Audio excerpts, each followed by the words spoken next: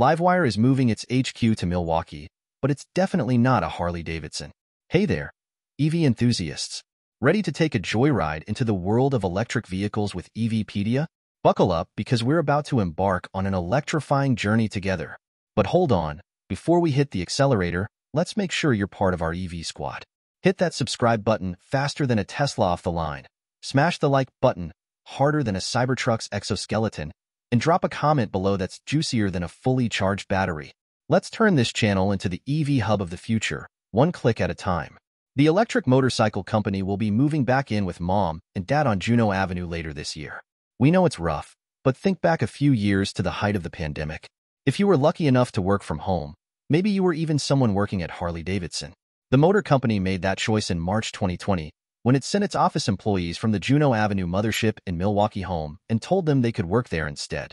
And in an interview with Bloomberg in October 2022, CEO Jochen Zeitz mused that it was likely better for work-life balance, allowing those employees to both get work done and also spend time with their families.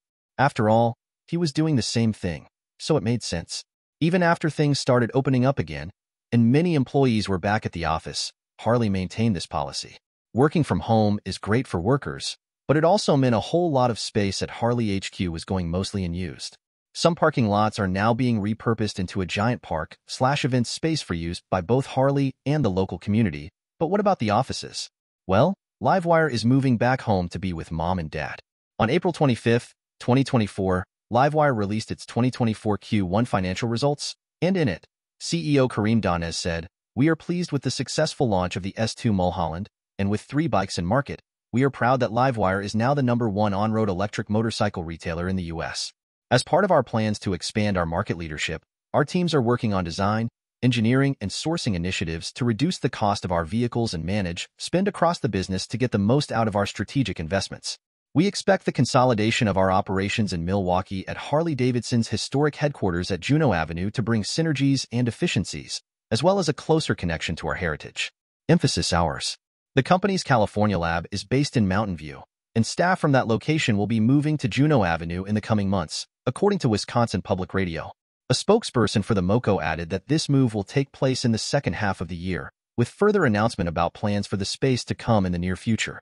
While the company has experienced growing pains since being spun off via a SPAC merger in 2022, the 2024 Q1 quarterly report did have a glimmer of a silver lining. Prior to this report, it estimated its annual losses for 2024 to be somewhere between $115 million and $125 million. But in the Q1 2024 report, it revised that estimate down to an estimated loss of $105 million to $115 million, representing a $10 million improvement.